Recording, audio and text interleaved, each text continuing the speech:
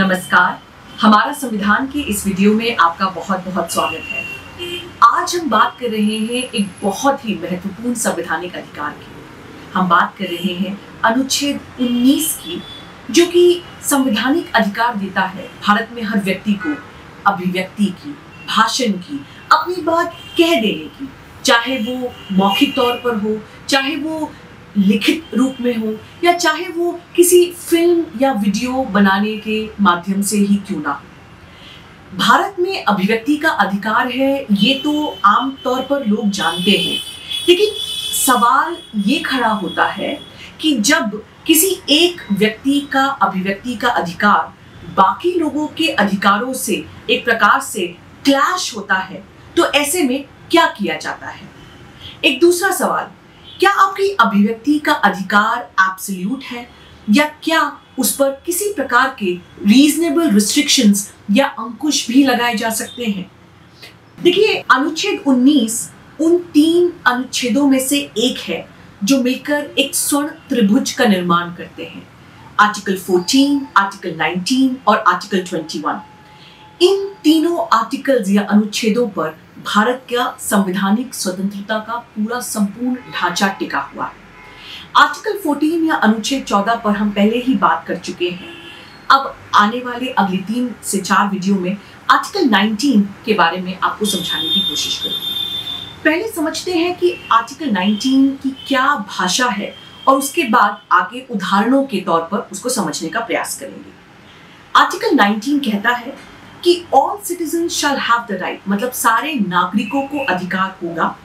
पहला to freedom of speech and expression मतलब वाक, स्वतंत्र और अभिव्यक्ति का अधिकार। दूसरा to assemble peaceably and without arms मतलब शांतिपूर्वक और बिना हथियारों के मिलने का अधिकार। तीसरा टू फॉर्म एसोसिएशंस और यूनियंस मतलब संगम या संघ बनाने का अधिकार। चौथा to move freely throughout the territory of India मतलब भारत में किसी भी राज्य क्षेत्र में आप ना सिर्फ़ ट्रैवल कर सकते हैं, लेकिन आप आज़ादी से घूम फिर सकते हैं। पांचवा to reside and settle in any part of the territory of India Bharat के राज्य क्षेत्र में किसी भी भाग में निवास करने या बस जाने का अधिकार। एंड फाइनली छठवा टू प्रैक्टिस एनी प्रोफेशन और to carry on any occupation trade और बिज़नेस मतलब कोई भी उपजीविका, व्यापार या कारोबार करने का अधिकार।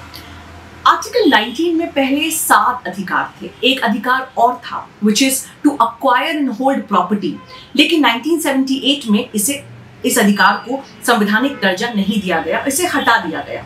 तो अब अनुच्छेद 19 में ये छह अधिकार दिए गए आज के इस संक्षिप्त से वीडियो में समझने की कोशिश करते हैं कि what is the scope of article 19 and specifically freedom of speech and expression which is mentioned under article 19.1a article 19.1a में जो अभिव्यक्ति का अधिकार दिया गया है, इसका क्षेत्र क्या माना जाए, इसे कैसे समझा जाए, उस पर आज बातचीत करते हैं। देखिए हाल ही में आपने सुना होगा कि 21 साल की दिशा रवि, जो कि एक क्लाइमेट एक्टिविस्ट हैं उन्होंने अपनी सोशल मीडिया पर एक टूल किट शेयर किया ये माना जाता है कि ये इंस्पायर्ड था Swedish climate activist Greta Thunberg से। और दिशा रवि के ऊपर एक सेडिशन का केस डाल दिया गया। सेडिशन आप लोग में से कुछ जानेंगे कि section 124 A of Indian penal code में सेडिशन डिफाइंड है। सेडिशन क्या कहता है? पहले जल्दी से आपको इसका डेफिनेशन पढ़ देती हूँ। Whoever by words or either spoken or written or by signs or by visible representation or otherwise brings or attempts to bring into hatred or contempt or excites or attempts to excite disaffection towards a government established by law in India shall be punished for life to which fine may be added or with imprisonment which may extend to three years to which fine may be added और with fine मतलब यदि भारत में कोई भी व्यक्ति कुछ ऐसे शब्दों का प्रयोग करता है जिसके द्वारा सरकार के प्रति अलगाव पैदा होता है तो उसे सेडिशन माना जाएगा, देशद्रोह माना जाएगा। तो ऐसे में जहाँ एक तरफ़ आर्टिकल 19 आपके संवैधानिक अधिकार की बात करता है और कहता है कि भारत में सारे नागरिकों को अभिव्यक्ति का अधिकार है और उसी दूसरी तरफ़ यदि हम देखें तो कई सारे लोगों के ऊपर सरकार उठाकर सेडिशन का केस लगा देती है, जैसे कि दिशा रवि के केस में हुआ। तो फिर आर्टिकल 19 को कैसे समझा जाए? ये बड़ा ही महत्वपूर्ण सवाल है। एक बात समझना तो ज़रूरी है, ये जो सेडिशन का कानून है, देशद्रोह का कानून है, ये अंग्रेज़ों की देन है। और आज जहाँ दुनिया भर में कई सारे देशों ने इस कानून को पूर्ण तरीके से हटा दिया है, भारत में इसका भोजा आज भी हम ढो रहे हैं। एक दूसरा उदाहरण देते हैं। जैसे प्रशांत भूषण सीनियर एडवोकेट हैं सुप्रीम कोर्ट में। उन्होंने अपने ट्विटर अकाउंट पे कुछ ट्वीट किया, जिसमें उन्होंने दिखाया कि उस समय के Chief Justice of India Justice Bobde जो हैं, वो हार्ली डेविडसन पर बैठे हैं और वो हार्ली डेविडसन किसी और व्यक्ति की है जिसका बीजेपी आरएसएस से ताल्लुकात है। वो और उन्होंने कुछ और भी ट्वीट्स करे, जिन सब के को मिलाकर उनके ऊपर फिर से कंटेम्प्ट का केस लगा दिया गया। अब यदि कोई व्यक्ति किसी की आलोचना करता है तो क्या वो उसकी अभिव्यक्ति का अधिकार है? या यदि वो कोर्ट या जजेस की आलोचना करते हैं तो कंटेंट में आ सकता है और उसी ग्राउंड पे आपकी अभिव्यक्ति के अधिकार को लिमिट किया जा सकता है या रिस्ट्रिक्ट किया जा सकता है। एक तीसरा उदाहरण समझने की कोशिश करते हैं। देखिए, आपने सुना होगा कि मूवी पद्मावत, जो कि संजय लीला भंसाली की एक बड़ी मूवी थी, इसमें दीपिका पादुकोण थी रणवीर सिंह थे और कुछ लोगों का ये कहना था कि इस मूवी में अभिव्यक्ति का अधिकार तो ठीक है, लेकिन चूँकि आप ऐतिहासिक किरदारों की बात कर रहे हैं, इतिहास के साथ छेड़छाड़ करना उन्हें मान्य नहीं होगा। और यदि ये मूवी रिलीज़ होती है तो देश में कई जगहों पर पब्लिक ऑर्डर की भी सिचुएशन क्रिएट हो सकती है। इसलिए कई लोग कोर्ट गए और उन्होंने कहा कि इस मूवी को रिलीज़ होने से मना कर देना चाहिए। कोर्ट ने अल्टीमेटली इस केस में कहा कि यदि आपको मूवी ना पसंद आए तो आप मूवी ना देखें। लेकिन ये फ़िल्म बनाने वाले का, अभिव्यक्ति का अधिकार है। फिर इसमें ऐतिहासिक किरदार ही क्यों ना शामिल हो? और ये भी ज़रूरी है कि भली इतिहास की जहाँ पे हम बात करते हैं, ये बहुत महत्वपूर्ण है कि इतिहास के साथ आप डिस्कशन कर सकते हैं, आप डिबेट कर सकते हैं क्रिटिकली एनालाइज कर सकते हैं। हाँ किसी प्रकार की ऑप्सिनिटी नहीं होना चाहिए। तो ये सारे मुद्दे जो हैं, वो कहीं ना कहीं freedom of speech and expression से जुड़े हुए हैं। Freedom of speech and expression ये जो हमने छह अधिकार पढ़े आर्टिकल 19 में, ये एक ग्रुप ऑफ़ राइट्स हैं। ये एक इंडिविजुअल राइट right नहीं है, ये बंच ऑफ़ राइट्स इन्हें माना जाता है। और इन्हें नेचुरल राइट्स माना जाता है मतलब प्राकृतिक अधिकार। ये मानवों द्वारा दिए नहीं गए, और इसलिए इन्हें मानवों द्वारा वापस लिया भी नहीं जा सकता। ये स्टैट्यूटरी राइट्स नहीं है, ये कॉन्ट्रैक्चुअल राइट्स नहीं है। इन्हें संविधान में, सुप्रीम कोर्ट ने अलग अलग जजमेंट्स के द्वारा इन एलियनेबल राइट्स मतलब अक्षम्य अधिकारों का दर्जा दिया हुआ है। ये जो छह अधिकार हैं, इनके अलावा भी बहुत सारे अधिकारों को सुप्रीम कोर्ट ने आर्टिकल 19 में पढ़ दिया है। इसका एक उदाहरण, सबसे महत्वपूर्ण उदाहरण है राइट टू प्रेस मतलब मीडिया या प्रेस वाले लोगों का अधिकार। इसके ऊपर अगले वीडियो में बहुत सारे जजमेंट्स आपको आपके साथ साझा करूँगी।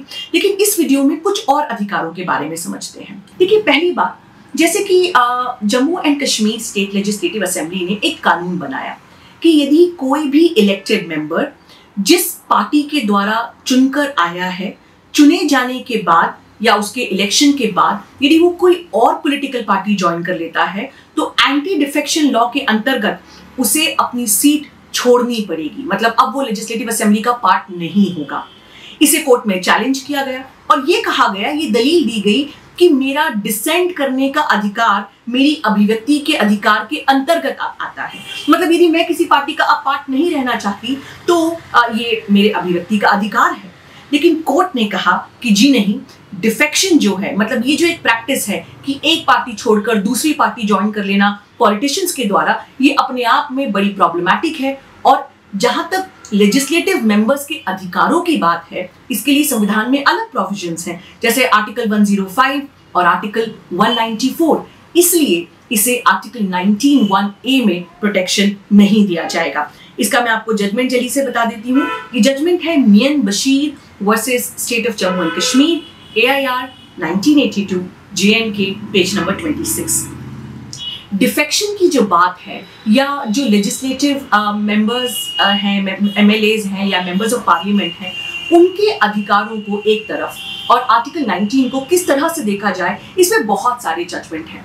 एक लैंड में जजमेंट इस पे जो सारे संविधान पढ़ने वाले बच्चों को बताया जाता है, वो है Kihoto Hollohan versus Zachillhu R 1993 supreme court 412 इसमें एक तरफ़ जो है फली एस नारिमन शांति भूषण जी कपिल सिब्बल जी सोली सोराब जी जो उस समय अटॉर्नी जनरल थे इस प्रकार के बड़े बड़े वकील थे जो टेंथ अमेंडमेंट जो भारत के संविधान में इंट्रोड्यूस किया गया था टेंथ शेड्यूल माफ़ कीजिएगा उसको आ, जो है उस पर अपनी दलील दे रहे थे।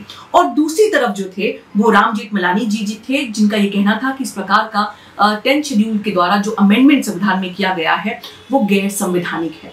लेकिन ये पूरा मामला जो है, वो भी डिफेक्शन लॉ से ही संबंधित था। इसमें भी अल्टीमेटली कोर्ट ने ये कहा कि anti defection is a social evil practice इसको किसी भी प्रकार से खत्म करना ज़रूरी है और इसलिए उसे आर्टिकल 19 के अंतर्गत freedom of speech and expression में अभिव्यक्ति के अधिकार नहीं माना जा सकता। अब आते हैं एक तीसरे जजमेंट में। देखिए सवाल, एक संवैधानिक सवाल खड़ा हुआ कि जहाँ पे एक तरफ़ आर्टिकल 105 या 194 है, जो एमएलए और एमपीज के parliamentary privileges legislative assembly privileges की बात करता है, और दूसरी तरफ़ आर्टिकल 19 है इन दोनों को आपस में कैसे देखा जाए? कौन ज़्यादा बड़ा है या कौन ज़्यादा महत्वपूर्ण है? एक उदाहरण के तौर पे समझने की कोशिश करते हैं। यदि किसी इलेक्टेड एमएलए का असेंबली द्वारा टेम्पररी सस्पेंशन कर दिया जाता है तो क्या वो व्यक्ति कोर्ट जाकर ये कह सकता है कि मेरे आर्टिकल 19 या अभिव्यक्ति के अधिकार का वायलेशन हुआ है? ये सवाल आया Alagapuram R Mohan Raj versus Tamil Nadu legislative assembly 2016 volume 6 SCC page number 82 यहाँ पे कोर्ट ने एक बहुत ही डिटेल जजमेंट में कुछ बेसिक प्रिंसिपल्स ले डाउन किए उन्होंने कहा कि एक तरफ़ आर्टिकल 105 और 194 है, लेकिन उनमें कोई रीजनेबल रिस्ट्रिक्शंस नहीं दिए गए हैं, जिस प्रकार से आर्टिकल 19 में दिए गए हैं। आर्टिकल 19 जो वन ए हमने पढ़ा, उसके क्या क्या ग्राउंड्स पे रिस्ट्रिक्ट किया जा सकता है, उसे article 19 sub clause two, three, four, five और सिक्स में दिया गया है। अगले आने वाले वीडियो में रीजनेबल रिस्ट्रिक्शंस पर आपको अलग से मैं बताऊँगी कि किन किन ग्राउंड्स पे आपके आर्टिकल 19 वन ए में दिए गए अधिकारों को रिस्ट्रिक्ट किया जा सकता है या उन पर उचित अंकुश लगाया जा सकता है। लेकिन कोर्ट ने कहा कि आर्टिकल 105 और 194 में इस प्रकार की कोई रिस्ट्रिक्शंस नहीं है। लेकिन आर्टिकल 105 और 194 में जो इलेक्टेड मेंबर्स को पार्लियामेंट्री या लेजिस्लेटिव प्रिविलेजेस दिए गए हैं, वो केवल असेंबली की चार दीवारों के अंतर्गत हैं। आर्टिकल 19 सब जगह एप्लीकेबल है। उसका इस प्रकार से कोई क्षेत्र में कोई लिमिटेशन नहीं है। इसलिए कोर्ट ने कहा, ये दोनों बिल्कुल अलग हैं।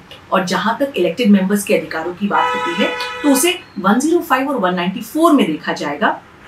यदि उनका काम कार्य या कोई भी बात पे जो अंकुश लगाया जा रहा है, वो पार्लियामेंट्री में, पार्लियामेंट या लेजिस्लेटिव असेंबली में बोले गए वचनों के लिए लगाया जा रहा है तो उसमें आर्टिकल 105 और 194 एप्लीकेबल होगा। आर्टिकल 19 एप्लीकेबल नहीं होगा।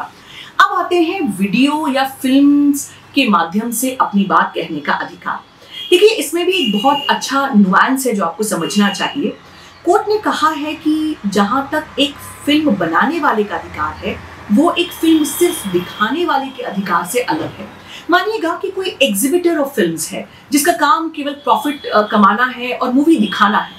उन्होंने मूवी बनाई नहीं तो वो freedom of speech and expression claim नहीं कर सकते। लेकिन हाँ फ़िल्म बनाने वाले ज़रूर freedom of speech and expression claim कर सकते हैं। इसमें एक महत्वपूर्ण जजमेंट आया director of film festivals versus Gaurav Ashwin Jain 2007 volume 4 SCC page number 737 इसमें कोर्ट ने कहा कि जो सिनेमाटोग्राफ एक्ट है भारत में, उसके जो रेलिवेंट सेक्शंस हैं सेक्शंस फोर और सेक्शंस फाइव एट उसमें ये जो रिक्वायरमेंट है कि मूवी रिलीज़ करने के पहले आपको एक बोर्ड से सर्टिफिकेशन लेना पड़ेगा, वो रीजनेबल रिस्ट्रिक्शन है। वो किसी प्रकार से फ़िल्म बनाने वालों के अभिव्यक्ति के अधिकार के साथ हस्तक्षेप नहीं करता।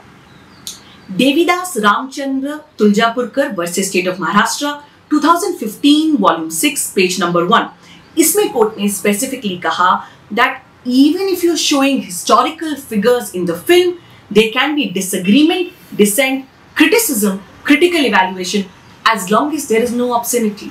मतलब यदि आपकी मूवी में ऐतिहासिक फिगर्स शामिल हैं तो आप उन पर चर्चा कर सकते हैं खुले तौर पर सिर्फ़ ऑप्शनिटी नहीं होना चाहिए जहाँ हम अभिव्यक्ति के अधिकार की बात करते हैं, याद रखिएगा, उसमें राइट टू साइलेंस भी शामिल है। मतलब यदि मैं एक नागरिक हूँ और मैं आपकी बात नहीं सुनना चाहती तो मेरे अभिव्यक्ति के अधिकार में यह भी शामिल है कि आप ज़बरदस्ती कुछ बातें मुझे सुनाए ना। यहीं से लाउड स्पीकर से संबंधित जो कानून है, उनका उद्गम हुआ। इसका मतलब कि यदि कोई व्यक्ति बड़े बड़े लाउड स्पीकर पे कुछ चीज़ें गाने चला रहा है या कोई भाषण चला रहा है तो वो मेरे अभिव्यक्ति के अधिकार का भी उल्लंघन माना जा सकता है। अब आप सोचेंगे कि लेकिन जब रिलीजियस फ़ंक्शंस होते हैं मानिएगा कि अलग अलग धर्मों में जो अलग अलग फेस्टिवल्स के समय पे बड़े बड़े लाउड स्पीकर्स का उपयोग होता है, उसका क्या? तो वहाँ पे रिलीजियस राइट्स आ जाते हैं, वो एक अलग सेक्शन आ जाता है। तो आर्टिकल 19 को जब रिलीजियस राइट्स के साथ बैलेंस किया जाएगा तो फिर कहानी जो है, वो बिल्कुल ही बदल दी जाएगी। एक जजमेंट मैं आपके साथ और शेयर करना चाहती हूँ।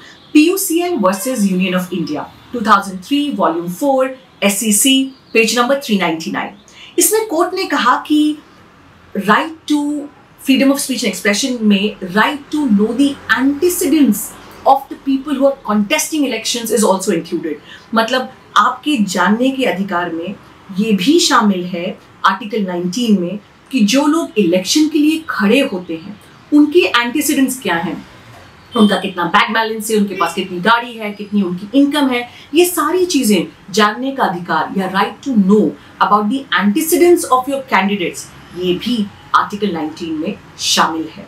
तो आपने देखा कि आर्टिकल 19 जो है freedom of speech and expression तीन चार शब्दों में कह देता है। लेकिन 19 ए की इस freedom of speech and expression में right of film makers right of press people laws regarding defection फलाना फलाना बहुत सारी चीज़ें जो है, वो शामिल की गई हैं। तो ये बड़ा ही व्यापक है। अब सवाल उठता है कि किन किन ग्राउंड्स पे इसको रिस्ट्रिक्ट किया जा सकता है? और दूसरी बात कि राइट टू प्रेस कैसे भारत में इवॉल्व हुआ? इन दोनों चीज़ों पर बात करेंगे अगले वाले वीडियो में। देखने के लिए बहुत बहुत धन्यवाद। और क्या मेरी बात आप तक पहुँच रही है? क्या आपके सवाल हैं? मैं आपके कमेंट्स बड़ी ही दिलचस्पी के साथ पढ़ रही हूँ। मुझे ज़रूर बताएँ कमेंट बॉक्स में। देखने के लिए बहुत बहुत धन्यवाद। मैं अधिवक्ता अपनी बन से दवायर के और वीडियोस देखने के लिए सब्सक्राइब करें और बेल आइकन पर क्लिक करें। स्वतंत्र पत्रकारिता की आर्थिक मदद करने के लिए डिस्क्रिप्शन में दिए गए लिंक पर जाएँ और अपनी राशि चुनें।